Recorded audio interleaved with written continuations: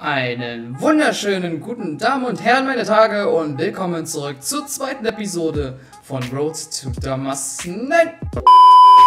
Schönen guten Damen und Herren, meine Tage, und willkommen zurück zu einer neuen Folge von Road to Dark Matter. In der heutigen Folge steht folgende Waffe auf dem Plan, und zwar ist es die QBZ-83. Alles, was wir dafür noch brauchen, sind mickrige sieben Doppelabschüsse. Die sollten machbar sein. Ich werde das mal eben auf Nuketown machen. Wenn wir dann die Goldtarnung haben, werden wir dann natürlich wieder uns die Goldtarnung in-game angucken und versuchen, ein schönes Gameplay mit dieser Waffe letztendlich zu erspielen. Für die Leute, die es interessiert, ich habe es inzwischen geschafft, sechs ganze Dreier-Streaks mit dem Raketenwerfer zu machen.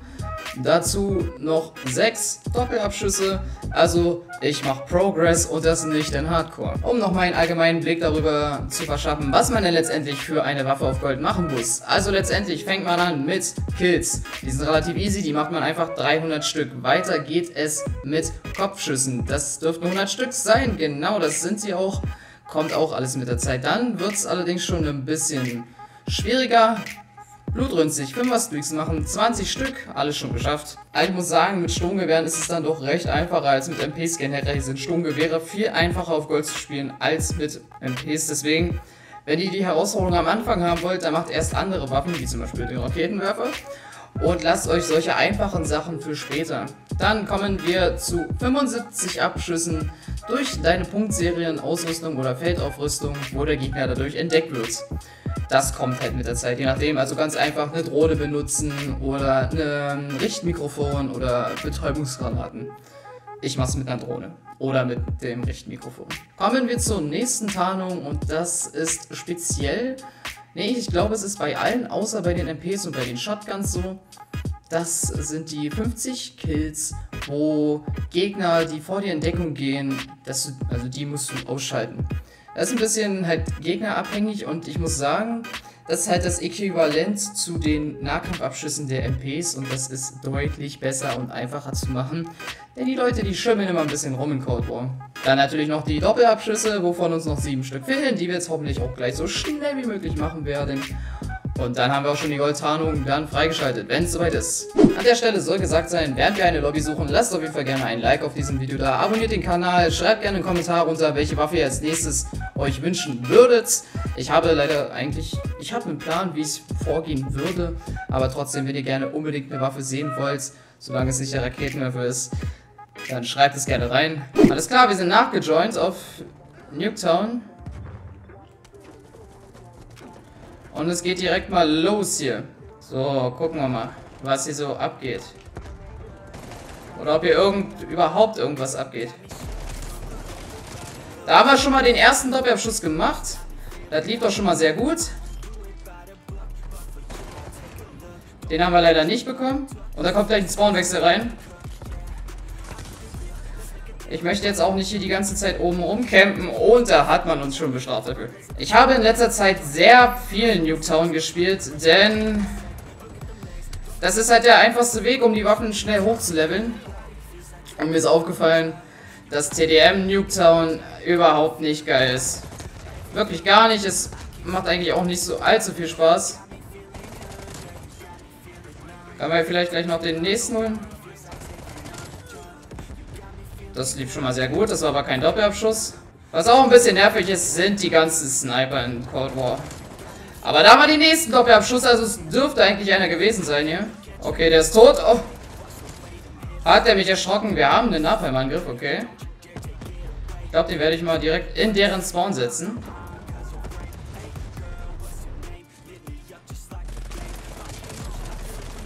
Holy shit, da ist der nächste Doppelabschuss, okay. Das lief gut, haben wir den nächsten schon. Also den nächsten Kill. Komm, das geht hier ganz easy, locker und flockig nicht gut voran. Nein, alles bisher super. So habe ich mir, genau so habe ich mir das vorgestellt, dass wir direkt in der ersten Runde hier vielleicht die ganzen Sachen klar machen können. Yep, da haben wir den. Da haben wir den nächsten. Und das war auch ein Doppelabschuss. Oh mein Gott. Das ist der vierte. Vier von sieben haben wir damit schon. Er läuft hier wirklich äußerst gut, ey. Ah, Mist, der steht im Rauch. Konnte er mich sehen? Da bin ich jetzt mal gespannt. Er hat genauso wenig gesehen wie ich, okay.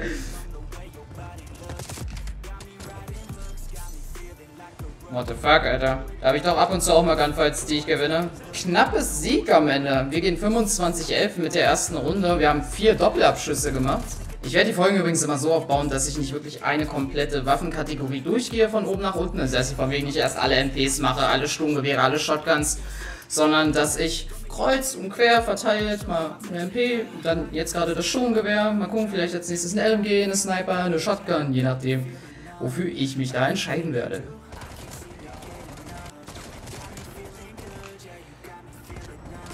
Dröhnchen geht raus.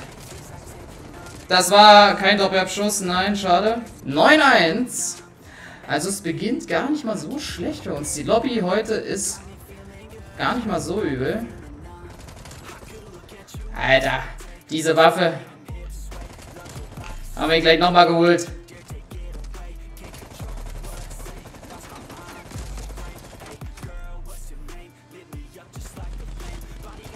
Über dieses Aim möchte ich nicht reden. Das war absoluter Rotz. Nein, was ist das? Was ist hier los? Wir haben ihn.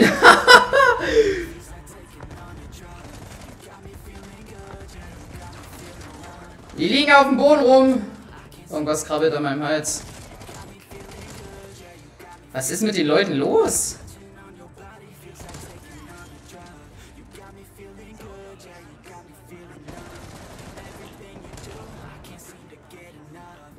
Nein, mit der Shotgun kommt er da auf die Ecke. Alter, habt ihr gesehen? Der Typ, wo gerade einfach hingerichtet wurde. Oh, hat er mich erschrocken, aber er hat sich bestimmt genauso erschrocken.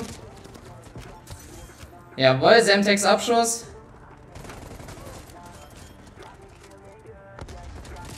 Dieses Game, es macht gerade echt viel Spaß, muss ich sagen. 27,5 zur Halbzeit. Okay. Eins. Das ist der ekelhafteste Spot, den es auf Nuketown gibt, finde ich. Mit der ekelhafteste. Guckt euch das an, wie ich die Leute jetzt hier reihenweise wegfrühstücken werde. Es passiert nichts. Das kannst du doch niemandem erzählen. Gab's die Lücke früher auch schon? Bumm, Zweier Streak. Komm, Paul, jetzt komm, einen noch, einen noch. Der liegt ab. Nein! Och, nein! Ja gut, okay. Hab ich gesagt, dass es klappt? Warte, wir verlieren C?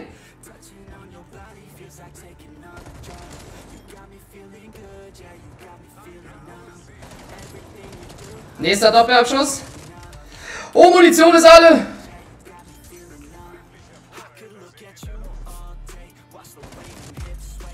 Da war nicht schlecht.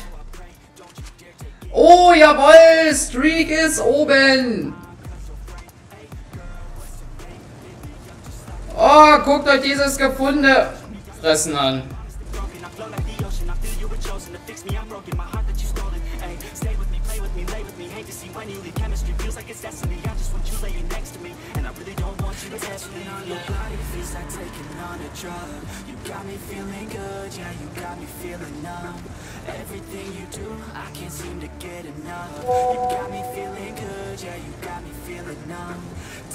You Alter, jawoll! Das ist so eine geile Runde gerade. 51,9. 51,9. Was war das für eine krasse Runde, Mann? Und wir haben Best Moment sogar. Das stimmt, da meint er, C wird eingenommen.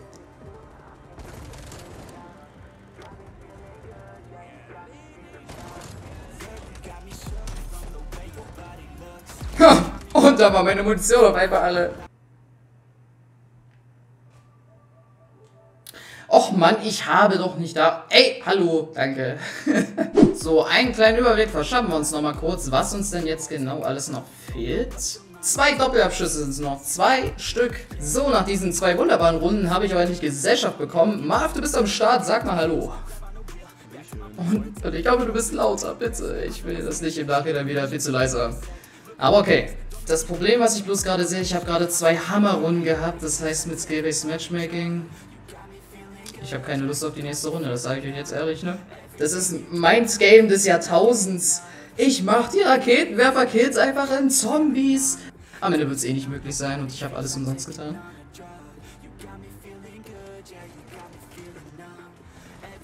Nein, stirb doch, Mensch. Ey, kommt gleich ins Spawnwechsel rein.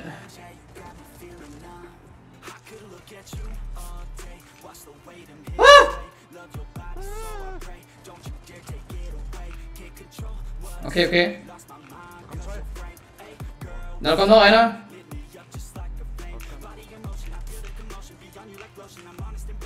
Ich hau ein Brötchen raus.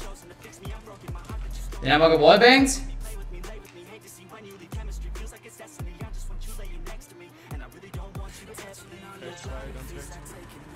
Einen habe ich. Nein, ich sterbe bei sieben.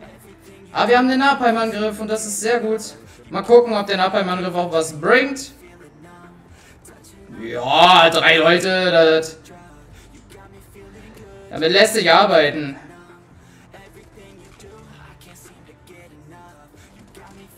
Aber den nächsten... Oh Gott, ich dachte, das wäre ein Gegner. Ja, für den Call. Doppelabschuss. Es geht weiter.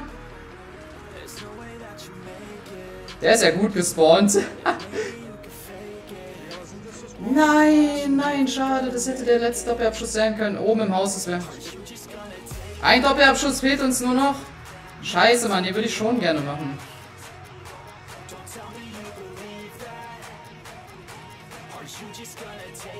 Das ist der Doppelabschuss. Das ist Gold. Das muss Gold sein. Goldtarnung für die QBZ. Es ist da kurz vor Rundenende.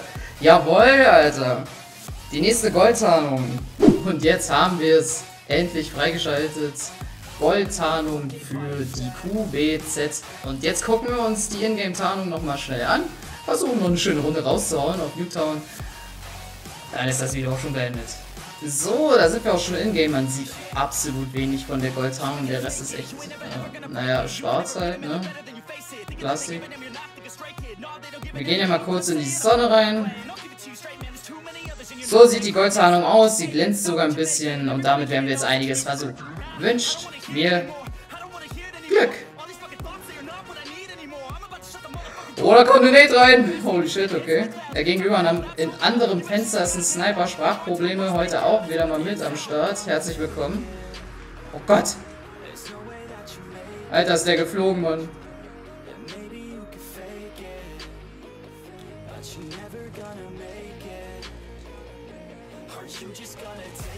Woo! Alter, der Knife Runner kommt.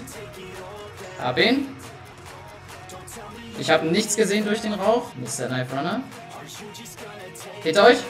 Ist dead. Dann verziehen wir uns mal von hier. Versuchen woanders einen Kill zu holen. Rechts auf B ist wer. Ja, Gott sei Dank hat jemand den Knife Runner geholt.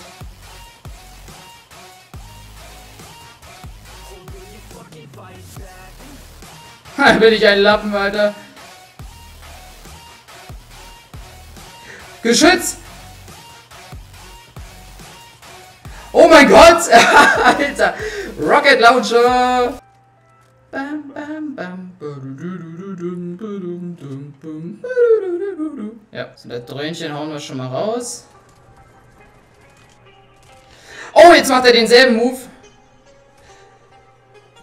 Da liegt einer unterm Bus bei dem Stück. Warte mal. Warte mal, warte mal, warte mal. Das haben wir gleich im Griff.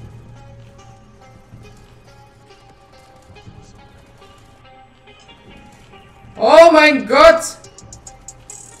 Alter!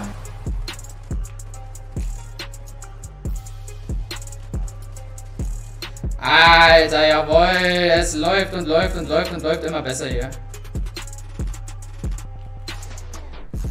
Guck dir das an, wir rennen hier einfach rein und holen die Leute weg. Auch wenn ich jetzt einmal komplett durch den Spawn gerannt bin.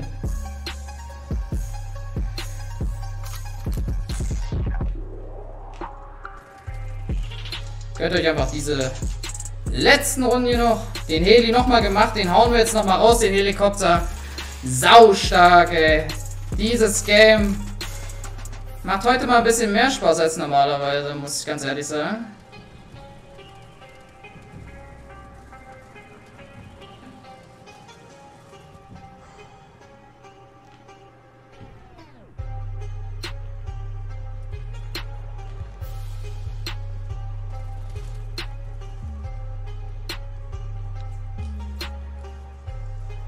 Vierundfünfzig zwölf noch am Ende rausgeholt. Alter. Ich muss sagen, da haben wir am Ende auch nochmal ordentlich was rausgeholt aus der Waffe. Ich muss sagen, die Aufnahme lief viel besser als das Freispielen der einzelnen Sachen, muss ich ehrlich sagen. Die letzten Tage Cold War waren mal wieder nicht einfach. Ähm, damit sind wir am Ende des Videos angekommen. Ich hoffe, euch hat die Folge der Road to Dark Matter Serie gefallen. Falls ja, lasst mir auf jeden Fall gerne ein Like da. Schreibt gerne in die Kommentare, welche Waffe als nächstes rankommen soll. Und abonniert gerne den Kanal, um keine weiteren Folgen mehr zu verpassen. Bis dahin, ich hoffe, euch hat's gefallen. Wir sehen uns im nächsten Video. Haut rein. Ciao.